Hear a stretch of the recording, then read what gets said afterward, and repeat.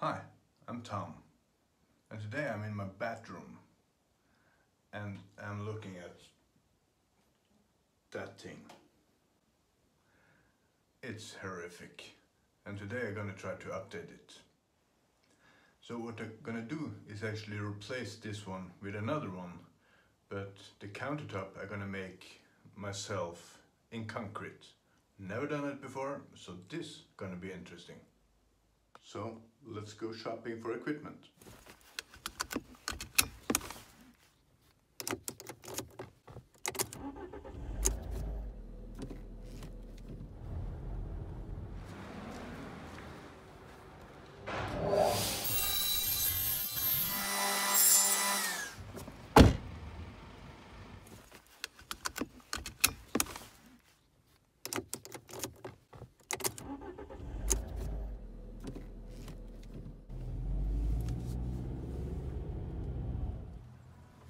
Did get them to pre-cut everything, so it was just to assemble it for me.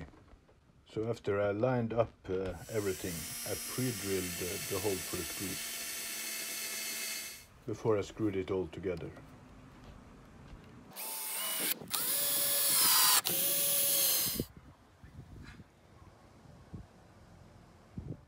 I added silicone to every corner inside. Uh, the reason for that is so that the corner will be a little bit more smooth.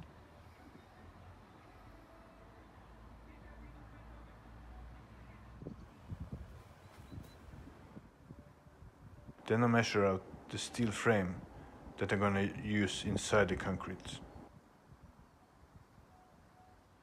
Then I measure out where to put the sink and the faucet.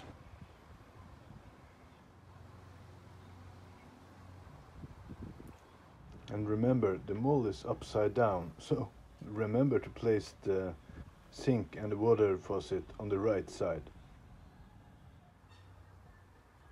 Then I did glue the cutouts for the holes to the mold. Okay, so it's starting to rain, which is good for the concrete, but it's not for me. So I move my stuff under the parasol. So this concrete is in Norwegian called, uh, the translate is called dry concrete. It's also called uh, Portland concrete. I think that's an international standard.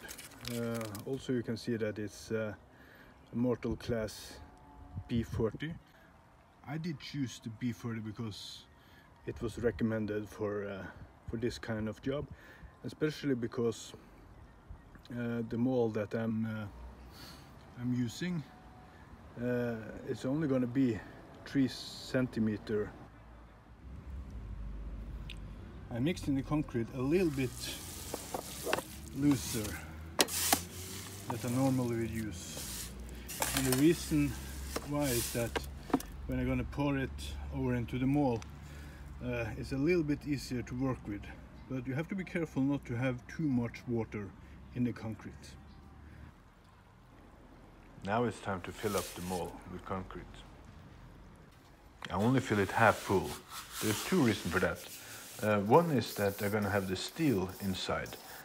The other reason is that it's easier to get the air out of the concrete. I use a plastic hammer for this and also shake the table to make sure that all the bubbles and all the air get out of the concrete.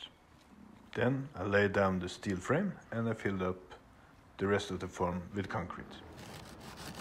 I used a long wood plank to level the concrete.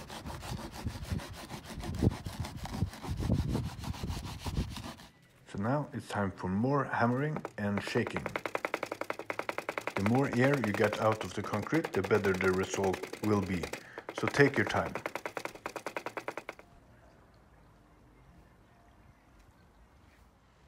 So I'm actually not going to cover this one with plastic. And the reason why is that the temperature outside is actually just about around 9, 8, 9 degrees. So it's not very hot in, uh, outside. And uh, also it's a little bit rain in the air so that uh, it will keep the concrete uh, nice and wet. And there was actually one thing that I did forget uh, before I pour the concrete.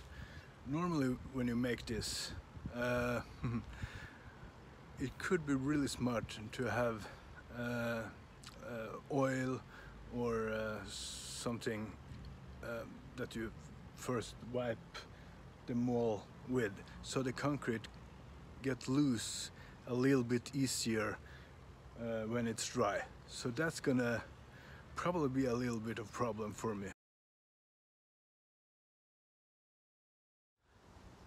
So it's been about five days.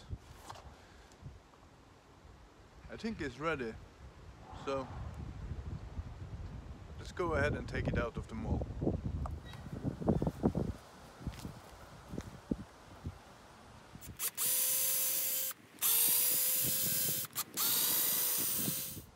Now all the screws are up, it's time to take the mold apart. Careful when you're using tools so you don't damage the concrete.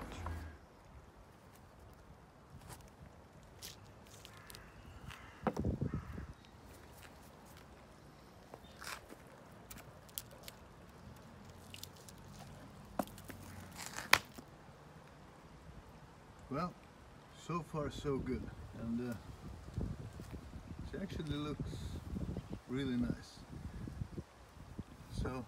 Let's hope the next step also go as easy as this one.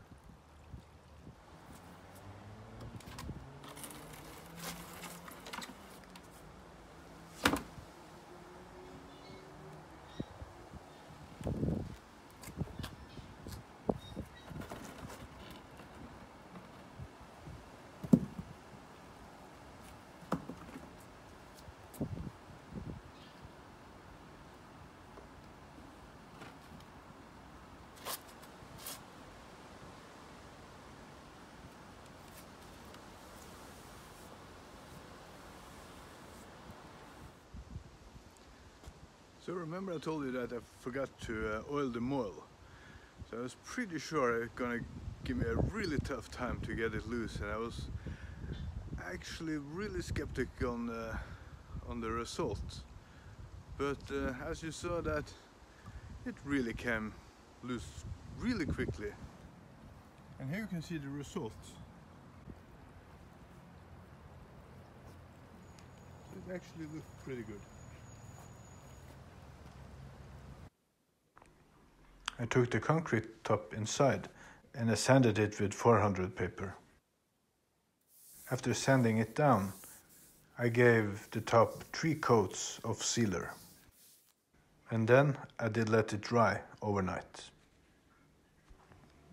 Then I mounted the faucet and the sink. I'm actually really happy with the result and uh, I think it turned, turned out really great. And now it's ready for me to install it. One day builds always take longer than one day. Yeah, it does. So this project started out uh, with me wanting to replace the old sink with uh, a new one and a countertop that I made uh, myself of concrete. Uh, so the countertop uh, and the sink and everything you see here was actually pretty easy to make as I did show you in the video. But it did take longer than I did expect. And the reason is that I got a wife. And uh, after I made this ready to put in, she said, well, while you're here, you should, uh, you should paint the wall.